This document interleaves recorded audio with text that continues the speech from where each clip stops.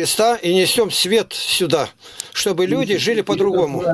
Потому что мы в этом мире все погибнем. Мы только воскреснем во имя Христа. Видите, вот если мы не только говорим, а делаем, Господь принимает. Вера без дел мертва. А мы должны увидеть, где мы нуждаемся, кто, кто в нас нуждается. Вот начинает говорить слово «проблема». Я его выкину, это слово нету. А как нерешенный вопрос. Вот это слово Подождите, будет. Что сказали проблема? Нерешенный вопрос, проблем нет. Посмотрите там, посмотрите. Если вам в одном направлении слышно, я вам скажу, как меня найти. Меня зовут Игнатий Лапкин, Алтайский край, город Барнаул. И вы меня найдете в скайпе. Я там один с этой фамилией. Игнатий Лапкин. Мы строим православную деревню. Брат у меня протеерей. Протеерей, протеерей отец Аким.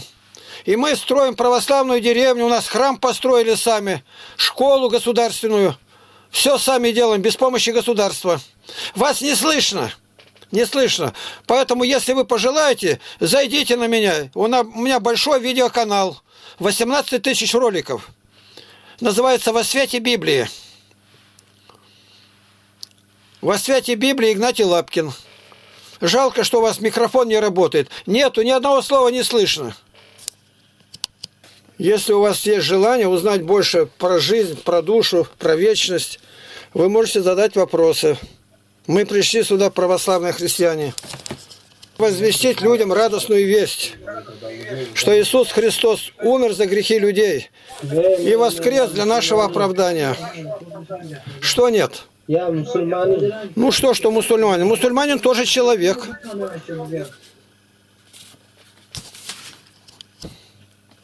Да, верю. Мы пришли сюда с той вестью от Бога, что за наши грехи умер Христос Иисус и дарует спасение, воскрес для нашего оправдания. И кто кается перед Ним, Господь освобождает его для новой жизни по заповеди Его. И вот этого Содома терпеть душа верующая не может. Он должен пролить свет сюда, рассказать о жизни вечной. По-любому. В Бога верю, батюшка. Хожу в церковь.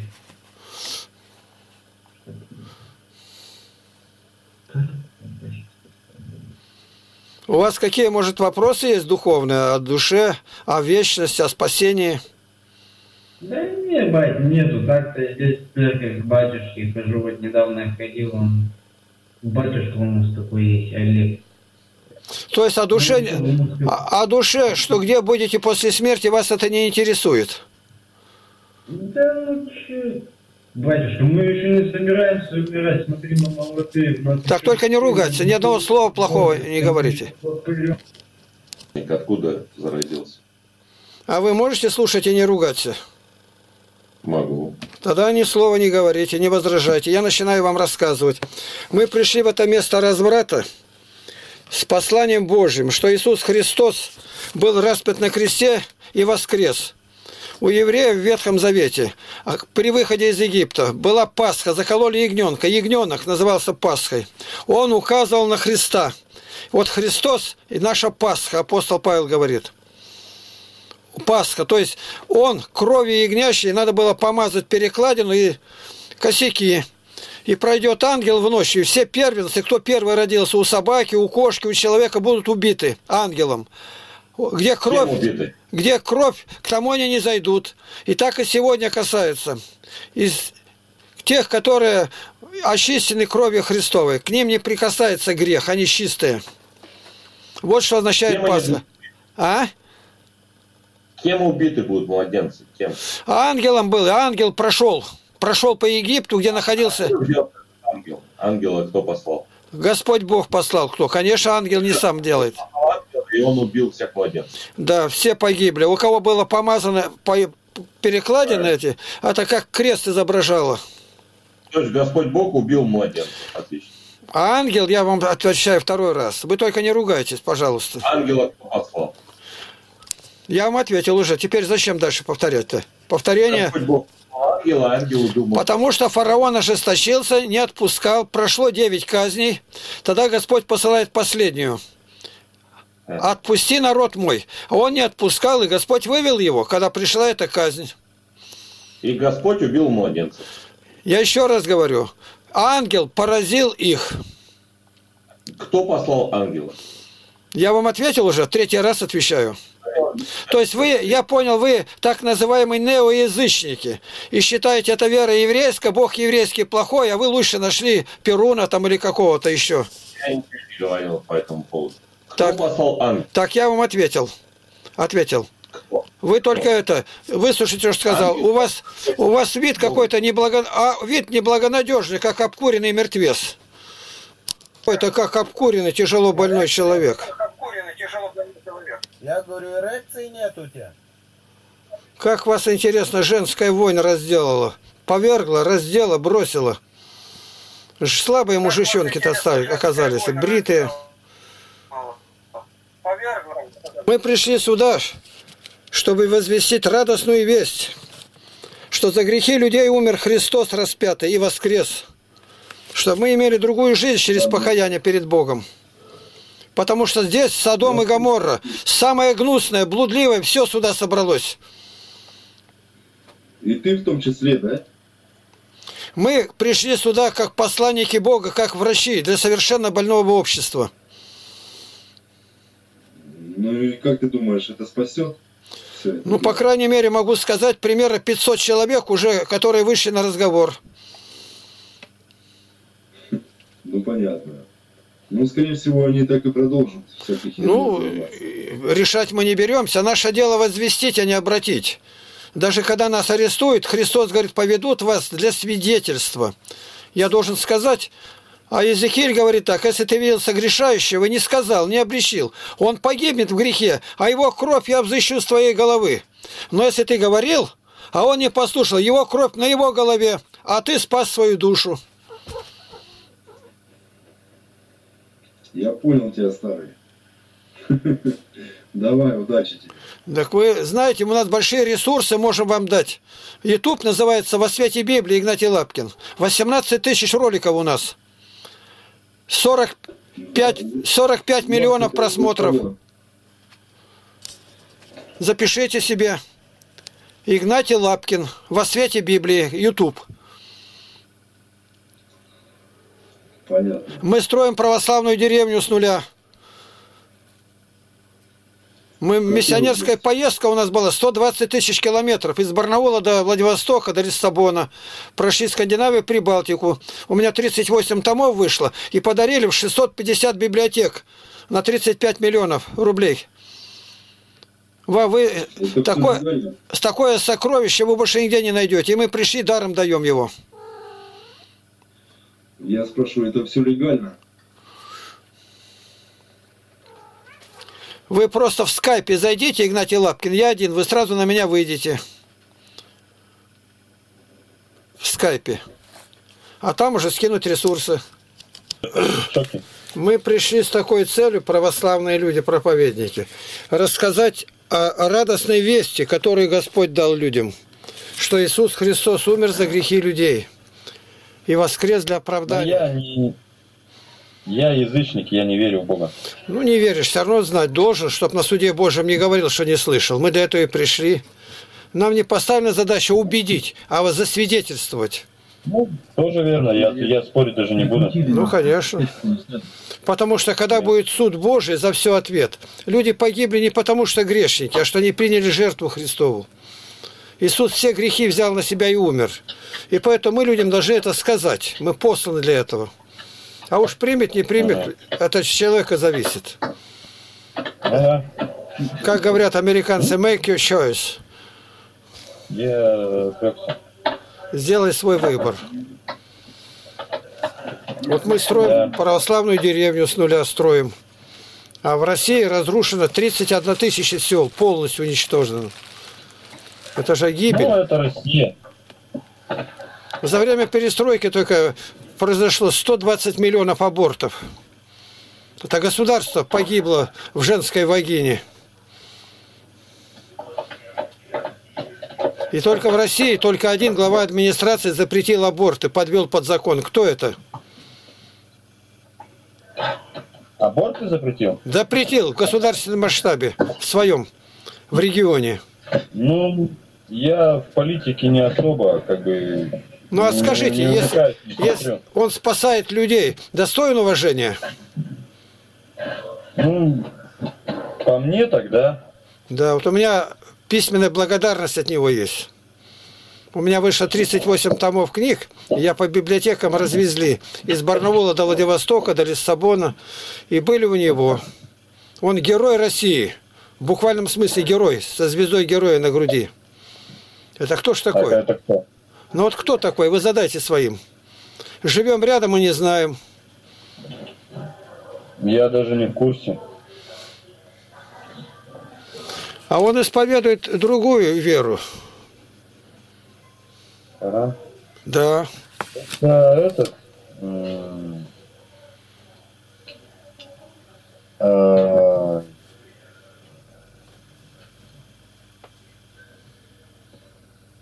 Я забыл. Рамзан Ахматович Кадыров. А, Кадыров, Кадыров. Да. Точно. Закрыл ворота. Нигде сейчас ни взрывов, ничего нету. Он герой в подлинном смысле. Я христианин, Да? но мы должны сказать правду.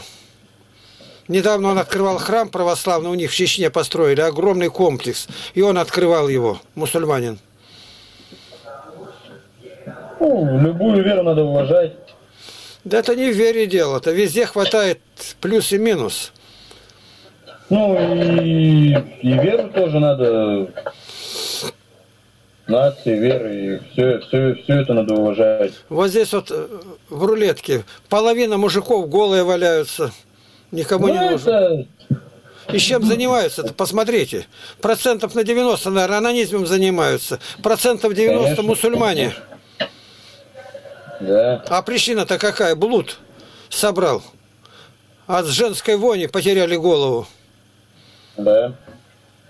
Вот им как раз и нужно сказать, что ждет за это. Был такой город Содом и Гоморра, города, где мужеложеством занимались. Извращение, садомиты называются. И Господь сжег эти города, и они находятся на дне Мертвого моря. Так Библия говорит нам. Я Библию не читал. Библия – это единственная книга, которая говорит о будущем, как о сегодняшнем. Ни в одной книге религиозной нигде нету. Она говорит, как дальше жизнь будет развиваться, какие политические перемены, какая война будет, какой правитель. Это мы уже знаем. Это получается, Библия предсказывает будущее? А она все, правильно? это 2000 лет назад Господь рассказал, Христос. И мы это знаем из Писания. Вот сейчас, когда людям начинаешь объяснять, они сразу принимают. Дескать, да, оно так и видно. Так видно-то видно. 2000 лет назад не было ни кибернетики, ничего. Не было еще Чернобыля, уже предсказано было. 2000 лет назад, это понятно, не 20 дней. С абсолютной Ну, точностью до одного дня. Это означает, что Бог открывает истину, и не верить ей нельзя.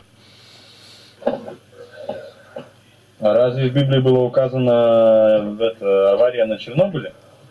Что указано? В Библии было указано, что будет авария на Чернобыле? Да. Прямо так и написано. Называется звезда полынь. Люди не знали, что такое. Падет с неба звезда полынь, и воду сделается горькими, и многие люди умрут. А сегодня говорят, а Украина, так там произошло, там Чернобыль. А полынь произносится черное былие. Вот и все расшифровалось. И Припять отравлена, и какие люди две тысячи лет назад. И дальше мы знаем, что будет. Один правитель будет над всем миром. Мы знаем, где столица мира будет. Это будет не Москва, не Вашингтон, не Пекин. Какой город? Один правитель. Границы исчезнут. Шенгенской зоны не будет. Денег не будет. Щип. Защиплено. Написано, будет знак поставлен 666. А сегодня даже на самом маленьком каком-то товарном чеке везде расшифровано 666. Как-то можно было? С точностью до одной цифры. Это говорит о том, что Бог сказал, и мы знаем, что здесь есть. А Вот я- получается, судя по Библии, что скоро будет конец света, да? Да, вплотную подошли. Москва будет сожженная в один час. А как это, как можно было 2000 лет назад знать про это? А, получается, какой промежуток времени будет сожжена Москва? А уже рядом стоит. Так что чем раньше Да. оттуда люди выйдут, тем лучше. Ну, И людей столицей мира, столицей мира будет объявлен Иерусалим. И будет один еврей над всем миром из колена Данова. И будет царствовать 42 месяца. До одного дня все выше.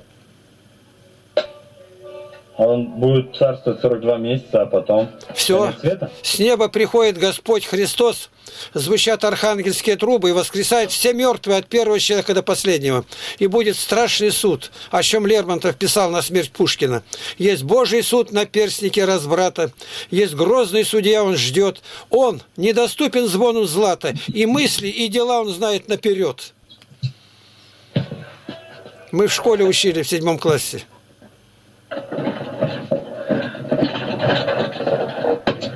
И поэтому вот вы сказали, я не верю. Вы не верю, сказали.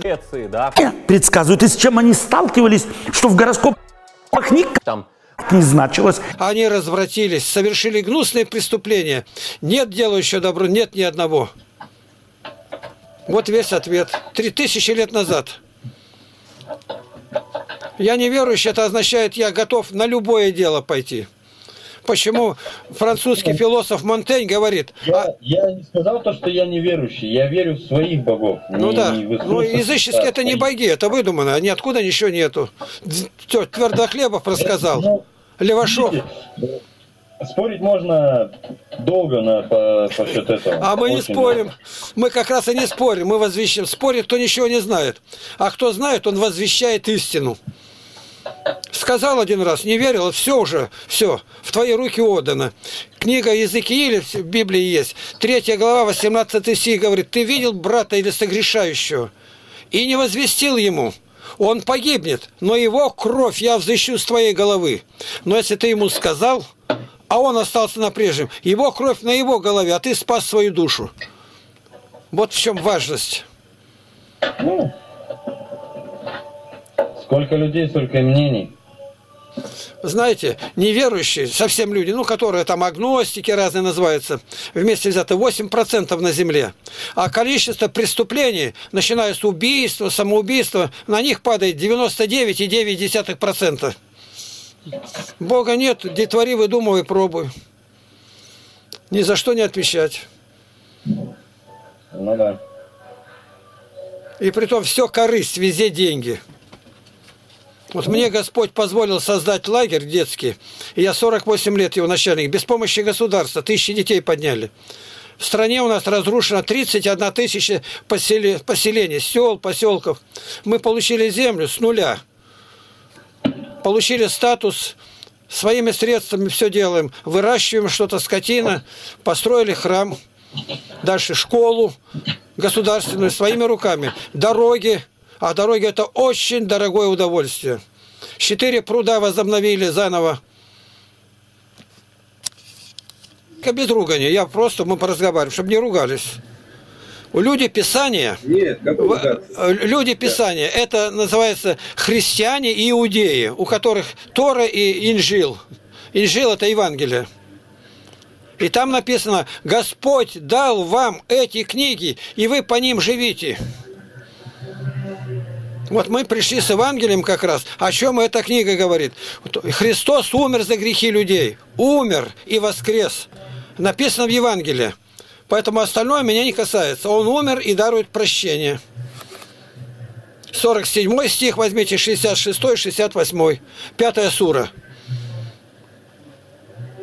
Вы извините меня, конечно, здесь столько нечисти сидит, что ж вы здесь делаете? Так, а что можно здесь делать? Скажите, по порядку. Даже вы ничего не знаете. Что здесь рулетка для чего создана? Для блуда. Здесь разврат, Содом и Гоморра. Сейчас я отвечаю. Пока я... Я не, отве- я не ответил, вы перебиваете. Вы вопрос задали, я отвечаю, вы меня перебиваете. И вы никогда не будете ничего знать. Еще раз говорю, я христианин православный. Если пришли сюда, больное общество, Разврат сплошной идет. Половина мужиков голые. Процентов 90 мусульмане здесь. Зачем мы пришли? Затем, чтобы возвестить великую радость, что Иисус умер за грехи людей и воскрес, и зовет к покаянию, чтобы жили для Бога. Мы пришли сюда как врачи к тяжко больным людям. Согласен с вами. Всего доброго вам. Здоровья. Слава Христу, слава!